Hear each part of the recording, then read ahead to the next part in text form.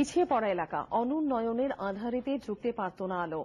কালনার মন্তেশ্বরের সেই রায়গ্রামে তৈরি হয়েছে কর্মতীর্থ। নিজের পায়ে দাঁড়ানোর স্বপ্ন দেখছেন এলাকার যুবক, যুবতীরা। সবে রঙের প্রলেপ পড়েছে সার দেওয়া বিল্ডিং।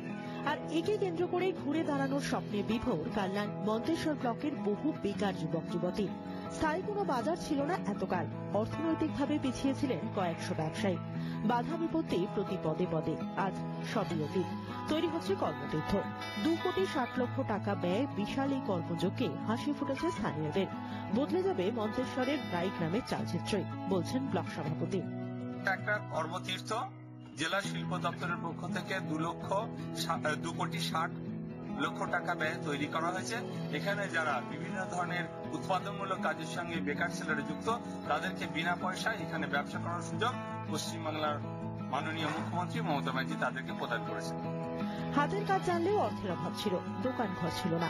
কর্মতীর্থে সব সমস্যার সমাধান হবে। নিখরচায় ব্যবসা করতে পারবেন। দিন বদলের স্বপ্ন দেখছেন বেকার যুবক যুবতীরা আমি একজন মোটরসাইকেল মেকানিক আমিও একটা ঘর ওখানে নেব। মতন বেকার ছেলেরা ওখানে গিয়ে ব্যবসা বাণিজ্য করবে, এটা আমরা খুবই খুশি। হয়তো আমার পয়সা আছে অল্প, আমি ব্যবসা করতে পারছি না। তো ঘরটা যদি আমি ফ্রিতে পাই ব্যবসাটা করা আমার পক্ষে খুবই সুবিধাজনক। এতে আমরা খুবই উপকৃত। অনেকে ইতিমধ্যেই আবেদন করেছেন, শীঘ্রই বিতরণ হবে ঘর।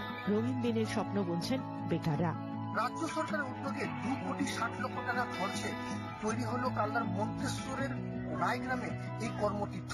এই কর্মতীর্থে বেকার যুবক যুবক, যুবতীদের জন্য খুলে দেওয়া হবে সম্পূর্ণ বিনা পয়সা কালাতুর সঞ্জয় রাঘবসী জি চব্বিশ ঘণ্টা।